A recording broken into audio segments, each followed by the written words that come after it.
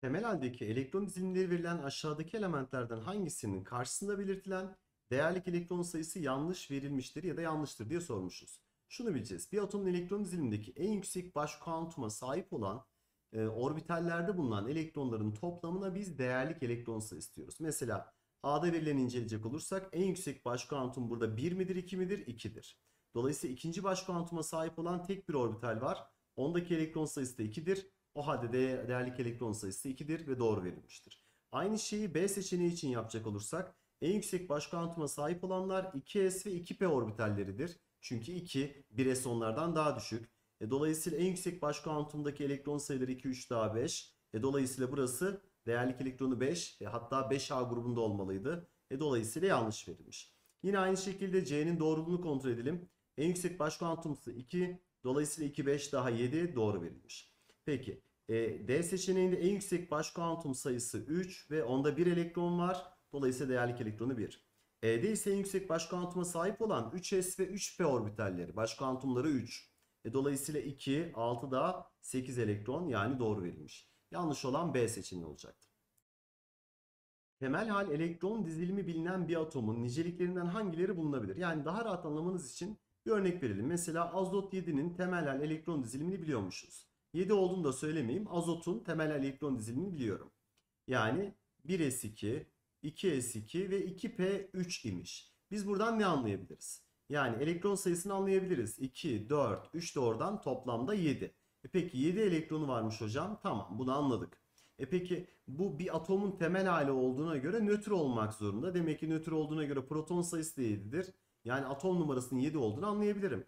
E demek ki o zaman ben buradan neler bulabilirim? Ama kütle numarasını bulabilmem için bana ne lazım? Şu lazım. Kütle numarası için e, proton sayısıyla biz nötron sayısının toplamı olduğunu biliyoruz. E, proton sayısını biliyorum ama nötron sayısını bilmiyorum. Bana verilmemiş. Ve bu bilgiden bunu anlama şansına da sahip değilim. Demek ki kütle numarasını bulamam. Peki değerlik elektron sayısını bulabilir miyim hocam? Değerlik elektron sayısı en yüksek baş kuantum sayısına sahip olan orbitallerdeki elektron sayısıydı.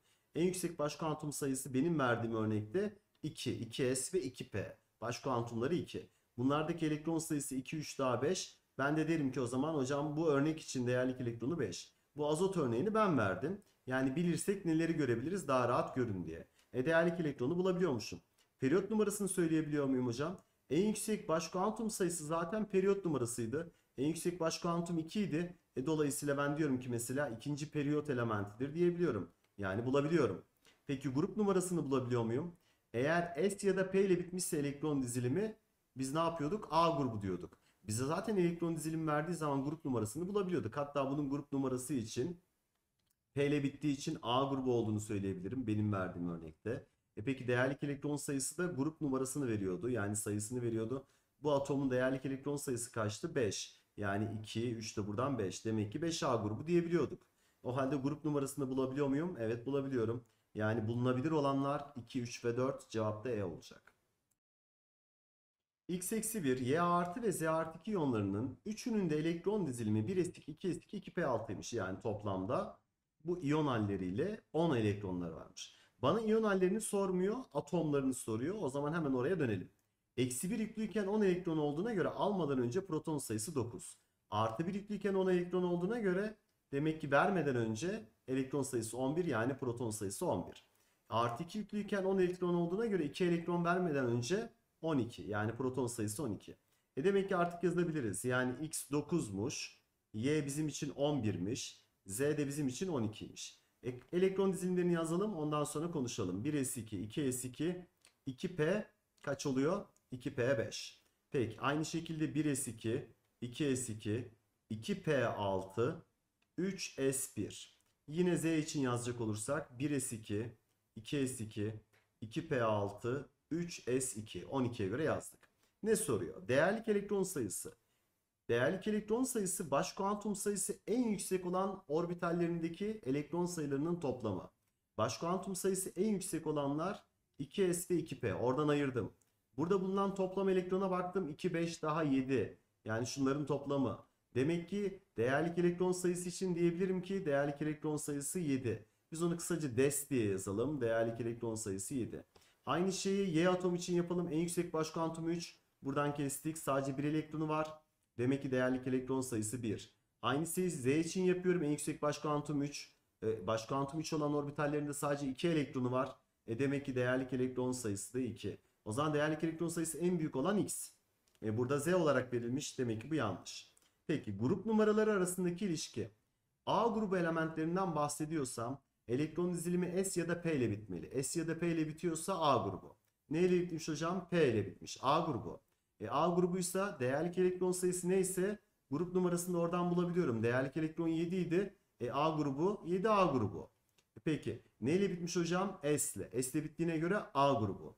E, değerlik elektronu 1'di. O zaman 1A grubu. Peki neyle bitmiş? S ile. Demek ki A grubu. Değerlik elektron 2 olduğuna göre 2A grubu. O zaman grup numaraları arasındaki ilişki 7A yani 7. grup değil 17. grup aslında YUPAC'a göre. E 1A 1. grup. 2A 2. grup. O zaman 7. grup olan X en fazla. Bu 7. grup. 17. grup. 7A grubu.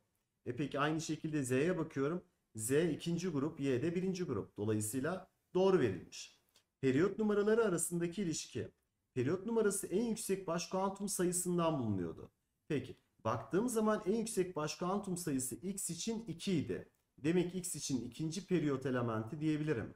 Aynı şeyi Y için konuşalım. Y için söyleyebileceğim şey de en yüksek baş kuantum sayısı 3. Demek ki o da 3. periyot. 3. periyot 1A.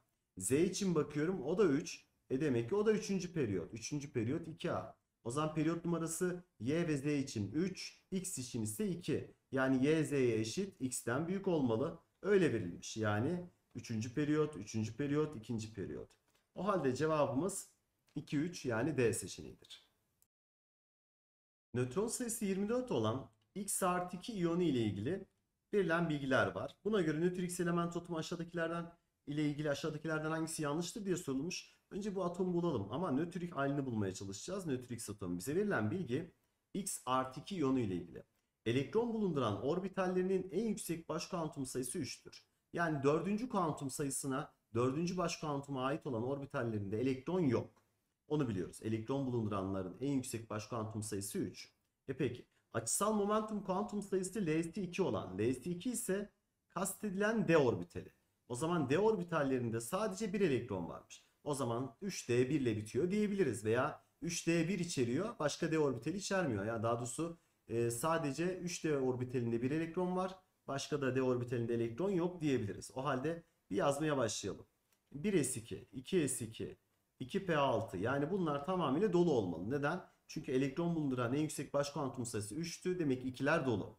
E devam ediyorum. O zaman 3s2, 3p6, 3d'de de orbital olduğunu anlamıştık. Elektron olduğunu anlamıştık. Oraya kadar yazacağım. O halde 4s2, 3d 1 diye yazdım. Şimdi x artı 2 iyon için diyor ki elektron bulunduran en yüksek baş kuantum sayısı 3'tür. Halbuki ben böyle yazarsam elektron bulunduran en yüksek baş kuantum sayısı 4 olur. O halde demek ki 4S'teki elektron kopup gitmiş. Yani 4S'te hiç elektron yok. Eğer 4S'e elektron yazarsam, buraya elektron yazarsam elektron bulunduran en yüksek baş kuantum sayısı 4 olur. Halbuki soruda elektron bulunduran en yüksek baş kuantum sayısının 3 olduğunu söylüyor. Demek ki buradaki 2 elektron kopmuş. Yani bu 2 elektronu vermiş. Verince x artı 2 haline gelmiş. Demek ki kopmadan önce 4s2 3d1 şeklinde olmalı. O halde bizim element atomumuz için bir daha yazayım. Nötrken 1s2 2s2 2p6 3s2 3p6 4s2 3d1 Elektron her zaman en dış kabuktan koptuğu için buradan elektron kopmuş. Onun için artı 2 yüklüyken dördüncü kuantum baş kuantuma sahip olan orbitallerinde elektron yokmuş. En yüksek üçüncülerde varmış. Peki. Demek ki X'in hali budur. Peki toplayacak olursak atom numarasının 21 olduğunu göreceğiz. Yani atom numarası 21'dir doğru. Periyodik cetvelde 4. periyot 3A grubunda bulunur diyor. Periyodik cetveldeki yerini bulalım. Nasıl buluyorduk hocam? E, periyodik cetveldeki yerini bulurken periyot numarası en yüksek baş kuantum sayısıyla bulunuyordu. En yüksek baş kuantum sayısı 4. Buradan kestim. Demek ki 4. periyot element. Bu doğru. Eğer S ya da P ile biterse A grup elementiydi. D ya da P ile biterse B grup elementiydi. D ile bitmiş. Demek ki kesinlikle B grup element. Hocam kaç B grubu element olduğunu nasıl bulacağım? E biz en yüksek baş kuantumdaki S orbitalindeki elektron sayısını ve D ile bittiği için D'deki elektron sayısını toplayacağız. Yani B grubunun grup numarasını bulurken pratik olarak S artı D kuralını uyguluyoruz. Yani S'teki ve D'deki orbitalleri topluyoruz. En yüksek baş kuantuma sahip S 4S ve 3D'deki elektronların toplamı 2 1 daha 3 demek ki 3B grubu olacakmış. Burada ise 3A grubu diye yazıyor. E dolayısıyla bu yanlış verilmiş. Değerlik elektronları S ve D orbitalindedir. Zaten onun için biz grup numarasını S ve D orbitallerindeki elektronların toplamını kullanarak bulduk. Onların da toplamı zaten değerlik elektronu yani 3 tane değerlik elektronu var. Peki kütle numarası 45'tir. Bunu bulabiliriz. Yani X'in atom numarasının 21 olduğunu bulmuştuk. Nötron sayısı ise soruda 24 olarak verilmiş. E toplarsak 45 olarak bulacağız. Açısal momentum kuantum sayısı L'si 1 olan, L'si 1 olan P orbitalleri demek. O, olan orbitalleri tam doludur. E bakıyorum şimdi. L'si 1 olan P orbitali P6 tam dolu. 3P6 tam dolu. E başka da zaten P orbitali yok. Dolayısıyla tam doludur ifadesi doğru. Yanlış olan B seçeneği olacak. Bir elementin nötr atomunun ilk 16 orbitali tam dolu. Biraz yazıp göreceğiz şimdi. Son 2 orbitali ise yarı doludur. Şimdi ilk 16 orbital tam dolu. Sonra son 2 orbital ise yarı dolu. Aslında pratik olarak şunu yapabiliriz. 16 tam dolu orbital. Her orbital 2 elektron alabildiğine göre maksimum 16 çarpı 2'den 32 elektron buradan gelir. Son 2 orbitali ise yarı doluymuş. O zaman 2 yarı dolu orbitalden de 2 elektron gelecek. E toplamda 32 artı 2'den e, elektron sayısının 34 olduğunu görebiliyorum. Yani 34'e göre bir elektron dizilimi yazıp kontrol de edebilirim. E peki. O zaman 1s2, 2s2, 2p6, 3s2, 3p6. Buraya kadar 18 yaptı. 4s2 20, 3d10 30 yaptı. E o halde 34 olması için 4p4. Buraya kadar 18 elektron olduğu için 9 tam dolu. E, S'ten dolayı S tam dolu bir orbital zaten. 10 tam dolu. D'ye ait olan 3, 4, 5 orbital D10 olduğuna göre tam dolu. Şöyle toplayayım tekrar. Şu 9 tam doluydu. Şu 1 tam dolu. Şurada 5 tam dolu. Toplarsanız 15 tane tam dolu orbitali var. Biz 16 tane tam dolu orbital diyorduk. Demek ki kontrol amaçlı. Yoksa burada soruda gerek yok ama P'ye ait olan 3 orbitale bakalım şimdi. P4. 4 elektronu nasıl yerleştireceğim? Önce yarı dolu. Sonra dördüncü herhangi birisini yazdım. Artık bir tam dolu da burada var. Toplamda 9, 10, 15, 16 tam dolu. 1, 2 tane yarı dolu. Yani sağlıyor. Bir bakalım. Atom numarası 34. Periyot cetvelde 4. periyottadır. Evet en yüksek baş kuantum sayısı 4 olduğu için 4. periyottadır. Bir geçiş metali midir? Hayır. Eğer e, D ya da F ile bitseydi bir geçiş metali olacaktı. Geçiş ya da iç geçiş elementi olacaktı. Ama elektron dizilimi P ya da S ile biterse, S ya da P ile biterse bu bir A grubu element. Hatta en yüksek baş kuantum 4s2, 4p4. E, dolayısıyla A grubu 2, 4 daha 6A grubu elementi olduğunu söylemeliyim. Dolayısıyla bu yanlış. Değerlik orbitalleri 4s ve 4p zaten biz onları kullanıp onların üzerindeki elektronları kullanıp grup numarasını bulmuştuk. Değerlik elektronu bu. Hatta değerlik elektron sayısı da 4s2'nin 2 elektronu, 4p4'ün 4 elektronu, Toplamda 6 değerlik elektron sayısı. Baş grup elementi A grubu demek. Zaten A grubu olduğunu söylemiştik. S ya da P ile biterse. Dolayısıyla bu ifadeler doğru. Cevap C seçeneği olacak. Yukarıdaki tabloda X, Y, Z, T elementlerinin en yüksek baş kuantum sayıları ve değerlik orbitalleri verilmiş. Değerlik orbitalleri kullanarak biz grup numaralarını bulabiliyorduk atomların. En yüksek baş kuantum sayıları ise periyot numaraları hakkında bilgi veriyordu. O halde en yüksek baş kuantum sayısı 3 olduğuna göre bu 3. periyot elementi. Bu dördüncü periyot elementi. Bu dördüncü periyot elementi. Bu da üçüncü periyot elementi diyebiliriz. Periyot numaraları böyle. S ya da P ile bitiyorsa biz ona A grubu elementi diyorduk. Demek ki bu A grubu elementi. S ile bittiğine göre A grubu elementi. S ve D ile bitebildiğine göre yani daha doğrusu D ya da F ile biterse B grubuydu. Bu B grubu elementi. Bu ise A grubu elementi. Yani soruyu kolaylaştırmak için böyle bir şey yapalım. Y ile Z aynı periyottadır. Y ile Z'ye bakıyorum. İkisi de dördüncü periyotta. Dolayısıyla bu doğru. X ile T aynı grupta olabilir. Şimdi X ve T'ye bakıyorum. Aynı grupta olabilirler mi? Bir kere ikisi de aynı periyot elementleri. Hem 3. periyotta olup hem de aynı grupta olma ihtimalleri var mıdır? Hayır. 3. periyotta olan 1A, 2A, 3A, 4A, 5A, 6A, 7A, 8A olmak kaydıyla 10 tane element var. Bu 10 elementin de grup numarası birbirinden farklı olmak zorunda. Çünkü aynı periyotta yer alıyorlar. Dolayısıyla aynı sütuna girme şansları yok. Dolayısıyla bu ifade yanlış. Yine de okumaya devam edelim. Yani aslında soru çözerken B'ye çok hızlı bir şekilde ulaşıyorsun. Diğerlerini senin e, bilgi kazanman için ben sana açıklamaya çalışacağım. Z ile T'nin tam dolu orbital sayıları aynı olabilir. Z ile T'nin tam dolu orbital sayıları aynı olabilir mi? E şimdi bakalım bir. Dördüncü periyotta birisi, diğeri ise üçüncü periyotta. Mesela şöyle olabilir mi? Üçüncü periyottaki 3s2 3p6 ile bitiyor olsun. Yani 18 ile bitiyor. Dördüncü periyottaki Z ise o da 3s2 3p6'ya sahip olsun. Ama S ve D ve dördüncü katman. Yani 4s'te ve 3d'de de elektronları bulunmak zorunda. Ama şöyle olabilir. 4s1 3d5 şeklinde olabilir. Yani yarı dolu bir şekilde olabilir. O halde yarı dolu olursa bu yarı dolu. Bunlar 5 orbital, 5 tane elektron, hepsi yarı dolu. O zaman tam dolu olanlar buraya kadar. Her ikisinde tam dolu olan orbital sayıları aynı oldu böylelikle. Çünkü bunların hepsi yarı dolu. Bunları eklesem de bir şey ifade etmeyecek. Demek ki aynı olabilirmiş. Ben ihtimal yazdım. Y'nin atom numarası Z'ninkinden küçüktür. Y'ye bakalım 4. periyotta. Z'ye bakalım 4. periyotta. Ama Y S ile bitiyor. Yani Y 4S ile bitti. Ama Z 4S'in üzerine 3D'ye de elektron koydu. Dolayısıyla Y'nin atom numarası Z'ninkinden küçüktür ifadesi doğru. Peki şuna bakalım. X ile Y'nin baş kuantum sayısı 3 olan orbitallerindeki elektron sayıları aynı olabilir. X ve Y'ye bakıyorum.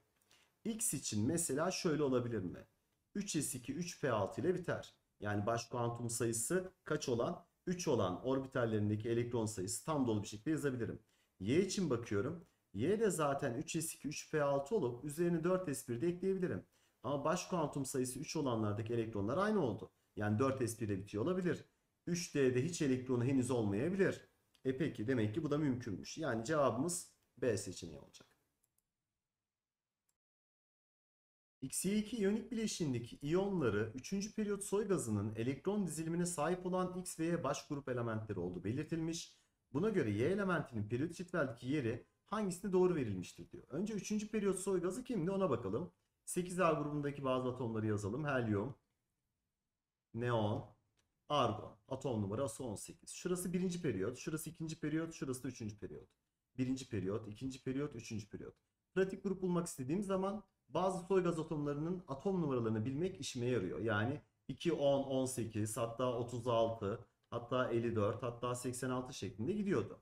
E peki, şimdi biz işimize bakalım. Üçüncü periyot soy gazı olan argona benzediğine göre şu an elektron sayısı 18 olması lazım. Ama bu bileşiğin içindeki iyonların, iyonik bağlı. Peki bu bileşiğin içindeki iyonlar nasıl yüklü ona bakalım. Çaprazlamayla x'in artı 2 yüklü, y'nin de eksi 1 yüklü olduğunu görebiliyorum. Bize y'yi sorduğu için y eksi 1 iyonunun biz argon soy gazına benzediğini biliyoruz. Yani 18 elektronu var. O halde 18 elektronu olana kadar 1 elektron almış. Demek ki atom numarası 17 olmalı. Atom numarası 18 olan argon burada olduğuna göre 17 bir öncesi olmalı. Yani Y burada yer almalı. Aynı periyotta yani 3. periyotta.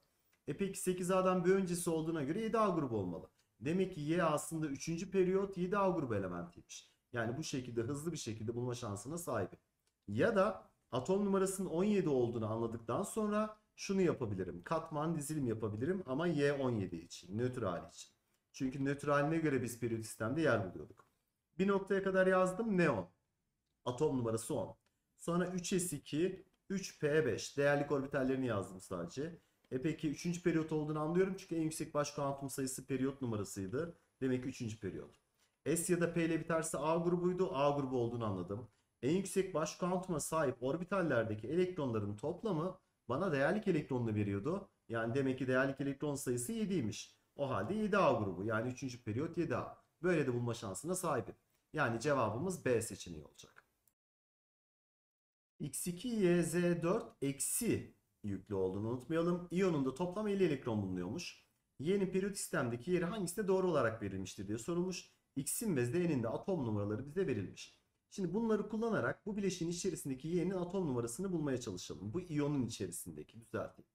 X2 Y Z4 eksi yüklü bir iyon. X'in atom numarası burada verilmiş 1. Yani aslında o hidrojen. Farklı renkle yazayım. Böylelikle karıştırmayalım. Atom e, sayılarıyla proton sayısını karıştırmamış oluruz. Şurada proton sayısı 1. Peki Y için bakıyorum. Bilmiyorum. Y'nin proton sayısı Y olsun.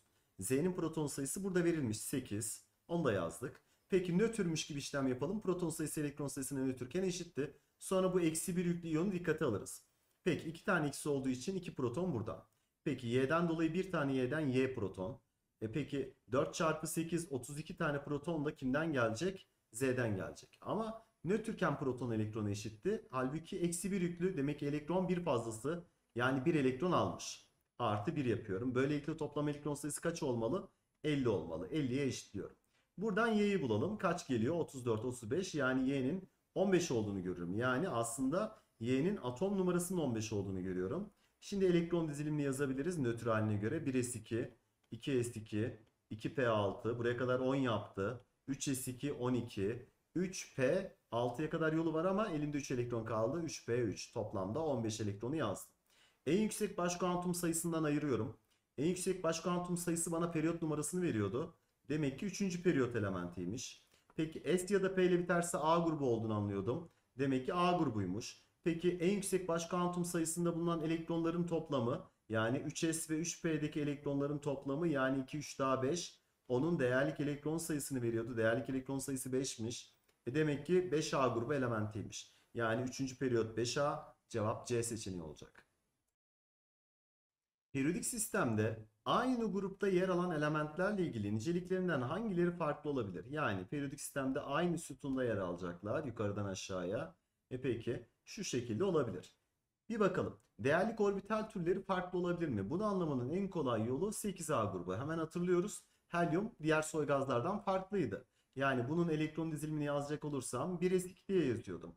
Hemen altındaki neonun elektron dizilimini yazsaydım 1s2, 2s2, 2p6 şeklinde yazıyordum. Peki helyumun değerlik elektron sayısı kaçtı hocam? Değerlik elektronu zaten toplamda 2 elektronu var 2 idi. Diğer soy gazlardan farklı diğerlerinin 8'di. Peki neonun değerlik elektronlarını nasıl bulacağım? En yüksek baş kuantum sayısı olanlar yani 2s ve 2p orbitalleri. Bunların üzerlerindeki toplam elektron 2, 6 daha 8. Demek ki değerlik elektron sayısı 8. Peki helyumun değerlik orbital türü ne? S. E peki neonun değerlik orbital türleri ne? S ve P yani farklı. Demek ki değerlik orbital türleri aynı grupta bulunan atomlar içinde farklı olabiliyormuş. Bunu da 8A grubundan ispatlamış olduk. Peki en büyük baş kuantum sayıları yani en yüksek baş kuantum sayısı kesinlikle farklı olması lazım. Birinci periyotta ise en yüksek baş kuantum sayısı 1. İkinci periyotta ise 2. Üçüncü periyotta ise 3. Dördüncü periyotta ise 4. E zaten hepsi farklı periyotta olmak zorunda aynı grupta. E dolayısıyla farklı olabilir. Niye olabilir diye sormuşuz. Çünkü şöyle bir durum vardı. 8B grubundan bahsediyorum. Yani periyodik sistemde B gruplarında aynı periyotta 3 tane 8B yer alıyordu. Demir, kobalt, nikel. Bunlar 4. periyot 8B grubu elementleri ve yan yana yer alıyorlar. Dolayısıyla en büyük baş kuantum sayıları da aynı. Hepsi 4. Yani bu da mümkün. Ama normalde aynı gruptaki atomlar için yani 8B istisnasının dışında aynı gruptaysa en büyük baş kuantum sayıları farklı. Çünkü periyot numaraları farklı.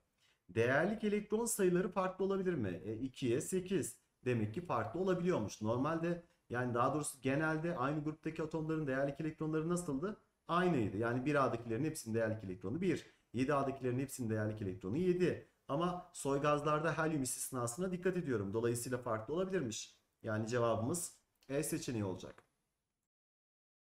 X, Y, Z elementleriyle ilgili aşağıdaki bilgiler verilmiş. Buna göre X, Y, Z için hangisi kesinlikle doğrudur diye soruluyor. X'in atom numarası kendine en yakın soy gazının atom numarasından 3 farklı. Yani ya 3 fazla ya da 3 eksik ama bir sürü soy gaz var. Şimdi soy gazları yazacak olursak mesela helyum, neon, argon, kripton, xenon, radon şeklinde gidiyordu. Peki atom numaraları 2, 10, 18, 36, 54 ve 86 şeklindeydi. Burası birinci periyot, burası ikinci periyot, burası üçüncü periyot, şurası dördüncü periyot. Buraya kadar bizim için yeterli. Yani soruyu anlamamız için yeterli. Eğer atom numarası helyumdan 3 fazlaysa yani helyum 8A, 3 fazlası 1A, 2A, 3A. Yani şurada bir yerde olabilir X. 3A grubunda olabilir. E peki eğer neondan 3 fazlaysa yine 3A grubu olur. Ama argondan 3 fazlaysa burası 4. periyot. 4. periyotta ilk element 1A grubunda. İkinci element 2A grubunda. Ama üçüncü element 3B grubunda. Yani geçiş elementleri başlıyor. Dolayısıyla e, argon soy gazından 3 fazla olan bir atom numarasına sahipse 3B grubunda da olabilir. Ya da 3 eksik olabilir. 3 eksik olursa ne olur hocam? Yani mesela neondan 3 eksik, 8A'dan 3 eksik, 7A, 6A, 5A. E dolayısıyla 5A da olabilir. Yani o zaman X için diyebileceğim şey şu. 3A olabilir, 5A olabilir, 3B olabilir. İhtimalleri bunlar olarak yazabiliriz. Peki. X 3A grubu elementidir. Kesinlikle diye sorduğu için bu kesin değil. E yine devam ediyorum. Ee, Y'nin açısal momentum kuantum sayısı 3 olan L'si 3 dediğimiz zaman kastettiğimiz neydi? L'si 0 ise S, L'si 1 ise P, L'si 2 ise D, L'si 3 ise F orbitali. Yani F orbitalinden bahsediyorsam lantanit ya da aktinit serisinden bahsediyorum. İlk defa lantanit ve aktinitler kaçıncı periyotta başlıyor hocam? 6. periyotta lantanitler, 7. periyotta aktinitler başlıyor. E burası 1. periyottu. Burası 2. periyot, 3. periyot, 4. periyot, 5. periyot, 6. periyot ve şurası da 7. periyot. O zaman Y'nin F'si yani F orbitallerinde e, elektron olduğunu söylüyorsam hatta 2 elektron bulunduğunu söylüyorsam F için söyleyebileceğim şey 4F2 ile bitiyor olması lazım. Hatta 6. periyot sırasını sana yazayım. 6S2 4F14 5D10 6P6 yani bizim atomumuz bunlardan herhangi birisiyle bitmek zorunda ve F'de iki tane elektron bulunduğunu söylediğime göre bizim atomumuz için de şöyle yazalım. Bizim atomumuz demek ki 6s2 4f2 ile bitiyor. Yani diğerleri yok yani. Şurada bitirdik. O zaman e, buradan 6s2 4f2 6s1 birinci element. 6s2 ikinci element. 6s2 4f1 üçüncü. E, 4f2 dördüncü element. Yani o zaman bu aslında 4b grubunda yer alıyor. Ve lantanit serisinde yer alıyor. E peki o zaman bakalım şimdi. Y'nin açısal momentum kuantum sayısında 3 olan orbitallerinde 2 elektron bulunur. O zaman 6. periyot. Peki hocam 7. periyot olamaz mı? Eğer öyle olsaydı 7s2, 4f14, 6d10, 7p6 şeklinde devam edecekti. Ve 4f dolup gelecekti. Sonra bir de e, burada da 5f'yi biz doldurmaya başlayacaktık. Dolayısıyla Ls3 olanlarda daha fazla sayıda elektron olmak zorunda kalacaktı. Dolayısıyla 7. periyotta olamaz. Peki Y için bakalım şimdi. Y 5. periyotta yer alır. Biz kaçıncı periyotta yer alacağını söylemiştik? 6. periyot. Çünkü lantanit ve aktinit serileri yani F orbitallerine elektron yazdığım atomların bulunduğu periyot 6. ve 7. periyot. Yani F ile bitiyorsa aklınıza gelsin. Elektron dizilimi F ile bitenler iç geçiş elementleri. Lantanitler ve aktinitler ancak 6. ve 7. periyot elementleri olabilirler. Lantanitler 6. periyot, aktinitler de 7. periyot. Dolayısıyla bu kesinlikle yanlış. Yani bize kesinlikle doğruyu soruyordu. Bu da mümkün değil. Z'nin atom numarası X'inkinden büyüktür. Z'ye bakalım. Z'nin 14 tam dolu. 14 tam dolu 28 elektron yapar. Bir yarı dolu yani bir tane de yarı dolu olduğuna göre 29 tane elektronu var. Yani 29 elektronun olduğunu biliyorum. Peki aynı şekilde Z'ye bakalım şimdi. Z için ne olabilir demiştik biz? 3A, 5A, 3B. Ama bu 3A, 3A, 3A, 5A, 3B nerede olabilir? Yani bu 7 periyodun 7'sinde de olabilir. E dolayısıyla hangisinin atom numarası daha büyük? Z'den X daha mı büyük, X'in daha büyük? Bunu bilme şansına sahip değilim. Yani kesin değil. Peki X 4. periyot 5A grubu elementidir. X için biz 3A olabilir, 5A olabilir, 3B olabilir demiştik. Dolayısıyla bu da gitti. Peki Y 3B grubu elementidir. Bak bu kesin. Neden hocam? Eğer bir atomun elektron dizilimi, buraya dikkat edelim. Bir atomun elektron dizilimi F ile bitiyorsa, F ile bitiyorsa, biz biliyoruz ki o iç geçiş elementi yani lantanit ya da aktinit. Peki hocam lantanit ve aktinitler nerede bulunur? Lantanit ve aktinitlerin tamamı 3B grubunda kabul edilir. İsterse 4F1 ile bitsin, isterse 4F14 ile bitsin fark etmez. O bizim için 3B grubu elementi. Ya da 5F1 ile bitsin ya da 5F14 ile bitsin fark etmez. 3B grup element. Bunların tamamını aynı grupta kabul ediyoruz. Çünkü periyot sisteme sonradan eklenmişlerdi. O halde Y 3B grup elementidir ifadesi kesinlikle doğrudur. Yani cevabımız E seçeneği olacak.